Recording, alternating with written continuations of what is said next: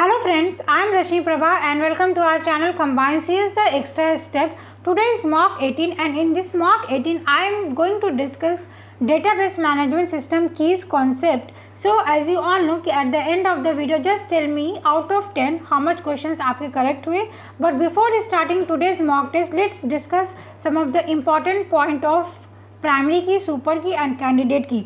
Whatever point I have written here in the slide this all are the previous year question correct तो मैंने वहाँ से ही सबका collection यहाँ पे कंबाइन करके लिखा है. So what is primary key? The value never be null always be unique and never be changed a relation is also allowed to have only one primary key in a table you can have only one primary key you cannot have two primary key in a single table.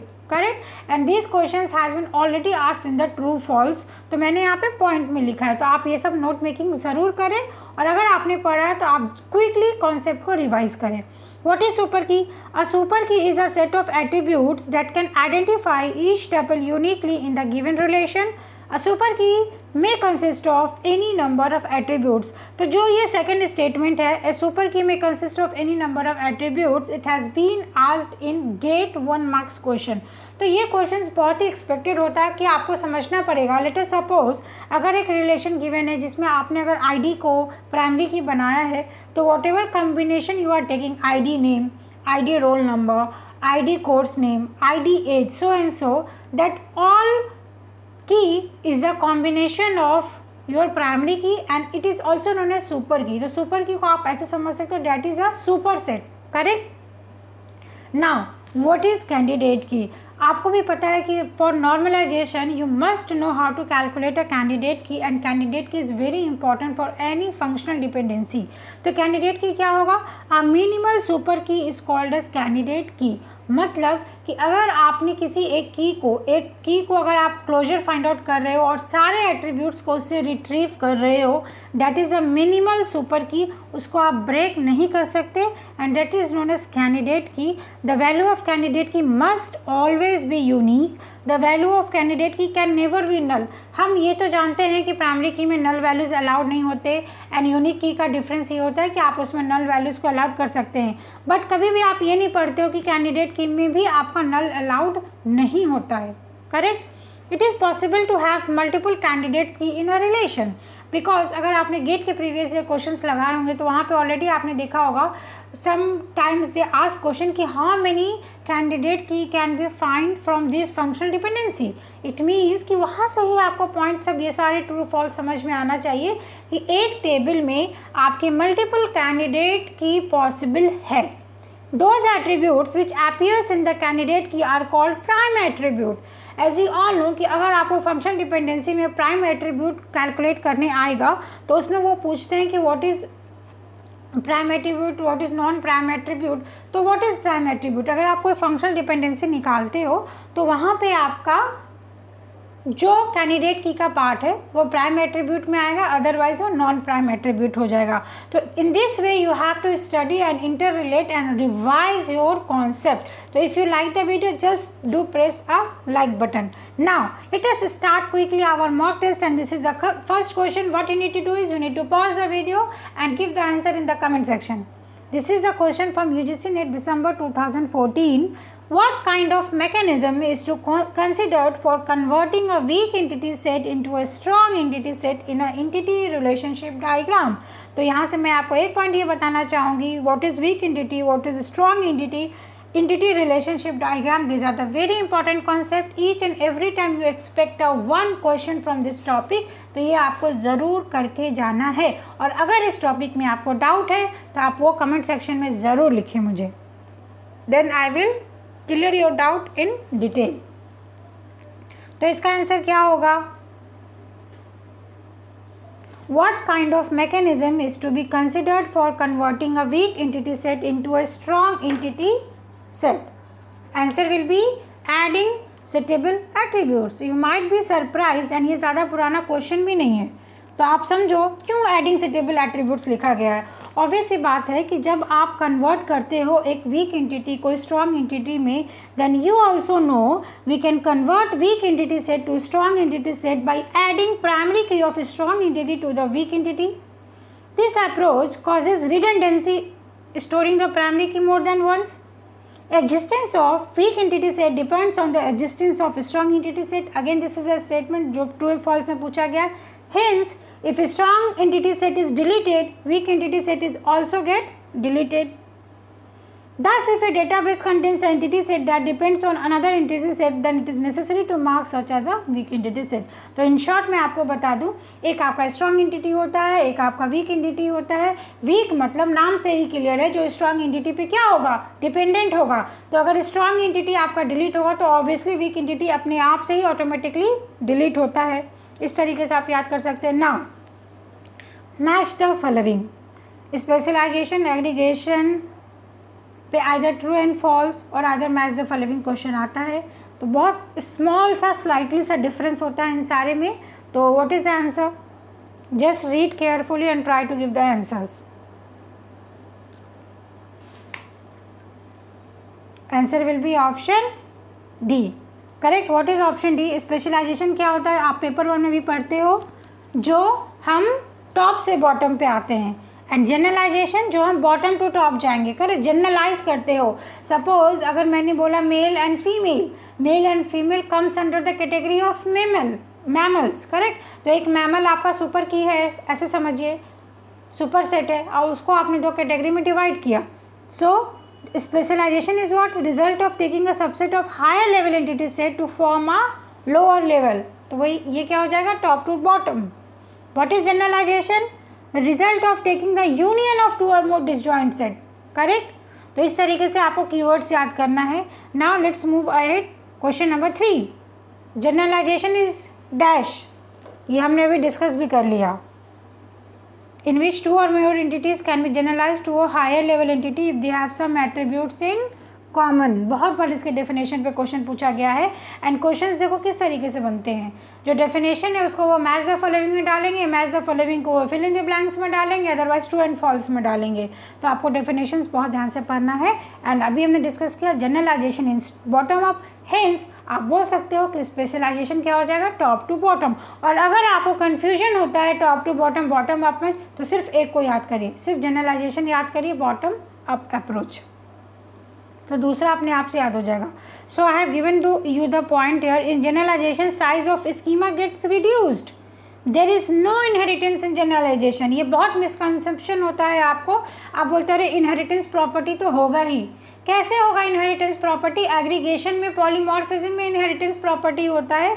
आपके generalisation में नहीं होता है। आप generalise कर रहे हो, ठीक है?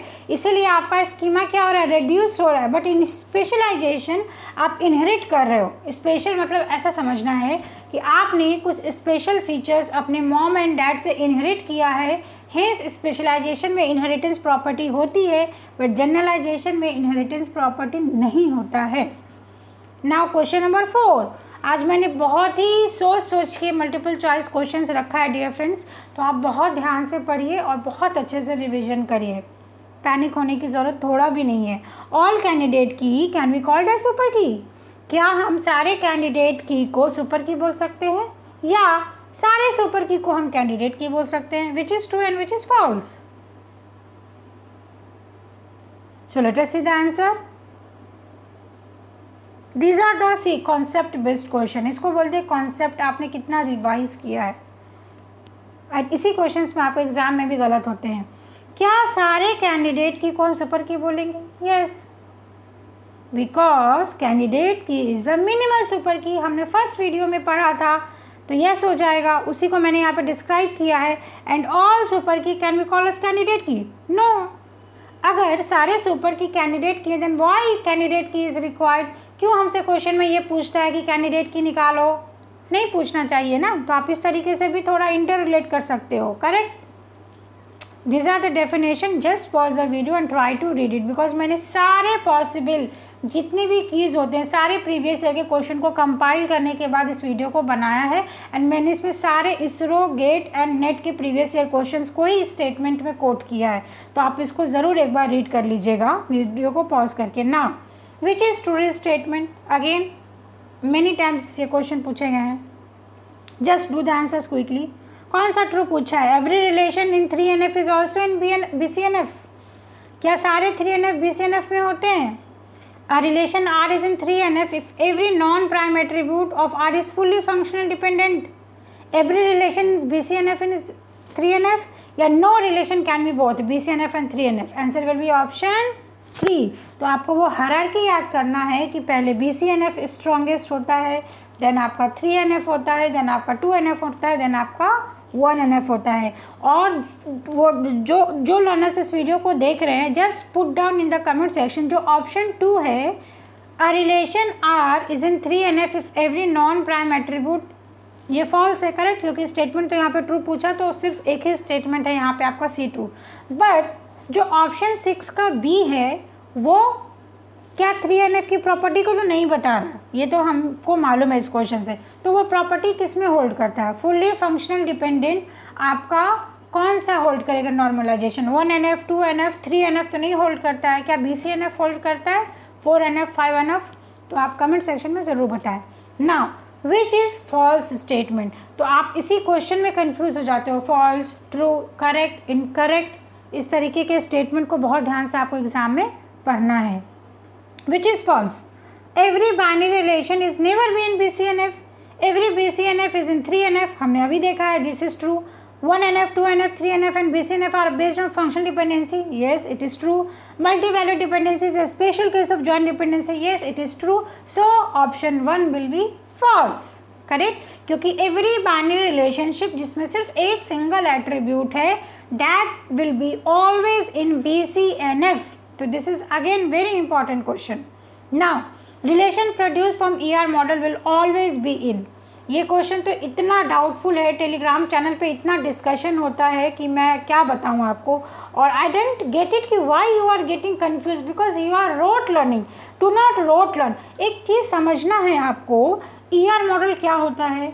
जब आप किसी सॉफ्टवेयर को बनाने जाओगे, डिज़ाइनिंग में आप ई आर मॉडल बनाते हो, करेक्ट? देन अगर आपने एक ई e बना लिया, एक चार्ट बना लिया देन आप उसको रिलेशन में कन्वर्ट करोगे। जब आप रिलेशन में कन्वर्ट करते हो तो first time when you are converting a diagram into a relation then वो वन एन एफ़ में होगा। वहाँ पे तो आपने कुछ देखा ही नहीं है। बस आपने एक single single single row and attribute के कॉलम के फॉर्मेट में डेटाबेस में स्टोर किया। हेंस जब आप ई e मॉडल से रिलेशन बनाते हो तो वो किसमें होगा? वन एन एफ़ में होगा। डोंट गेट कन्फ्यूज़ कि वो थ्री एन एफ़ में क्यों नहीं होगा? Now next question which normal form is considered adequate for normal relational database design अब आपने तो याद किया हुआ है कि अगर वो एन एफ़ में, वो वन एन एफ़ में है तो ये वाला थ्री एन एफ़ में होगा। तो यू नीड टू अंडरस्टैंड कि why this is in three N F तो अगर आपने एक बार टेबल को कन्वर्ट कर दिया। ई आर डी से रिलेशन में तो वन एन एफ़ में है। Then what you need to do is अब आपको यहाँ पे बेनिफिट ऑफ़ रिलेशनल मॉडल देखना है कि आपको रिटेंडेंसी डुप्लीकेसी कम करना है। डेट्स वाई आप थ्री एन एफ़ में जाते हो। इसलिए यहाँ पे पूछा है कि एडुकेट फॉर्म कौन सा होता है? तो थ्री एन एफ़ होता है। करेक्ट ना next question which normal form is based on the concept of full function dependency और ये क्वेश्चन मैंने अभी आपको असाइनमेंट में भी दिया है तो चलो यहाँ पे ही बता दो बिकॉज़ आप तो एक कमेंट भी नहीं डालते हो। मैं इतना मेहनत करके वीडियो बनाती हूँ। Please do like and share friends so answer will be option two second normal form because fully functional dependency आपका सेकेंड नॉर्मल फॉर्म में होता है, जब आप किसी फंक्शनल डिपेंडेंसी को चेक करते हो करेक्ट फ़र्स्ट नॉर्मल फॉर्म में एटॉमिक वैल्यूज़ होती है थर्ड नॉर्मल फॉर्म में आप ट्रिवियल डिपेंडेंसी को इग्नोर करते हो and fourth N F form में आप मल्टी वैल्यूड एट्रीब्यूट को चेक करते हो। So this was all about today's video I hope you like the session and आपने क्विक रिविजन किया होगा। तो आज के इस वीडियो में हमने पूरा कीज़ का कॉन्सेप्ट को कवर किया है। और कीज़ का कॉन्सेप्ट ईआरडी का concept strong and weak entity ये अलग अलग नहीं है। ये सिलेबस में अगर आप देखोगे तो what is relation what is ERD models क्या होते हैं, कैसे आप टेबल में नॉर्मलाइज करते हो what are the different relationship जो ईआरडी में होता है one to one many to many ये सारा आपको कवर करना है बिकॉज़ इससे एक क्वेश्चन और दो क्वेश्चन बहुत ही एक्सपेक्टेड होते हैं। For K V S N V S N I C GATE ISRO हर एक एग्जामिनेशन के लिए। सो so, अगर आप फ़र्स्ट टाइम मेरे वीडियो को देख रहे हैं I will just tell you please like and subscribe our channel because in the coming days after U G C NET we will uploading videos for N I C and उसके बाद अगर मैं आपको बता दूँ तो महाराष्ट्र सेट का भी फॉर्म का एग्जामिनेशन डेट आ गया। तो अगर आपने एम सेट भरा है तो उसका एग्जामिनेशन डेट है दिसंबर correct December last week of December है डेट मुझे भी याद नहीं है मे बी ट्वेंटी सिक्स है शायद तो I will confirm you date also तो आपको अभी रिलैक्स नहीं करना है, आप अपने कंटिन्यूसली आप स्टडी करते रहिए कंसिस्टेंट वे में. Thanks for watching dear friends thank you so much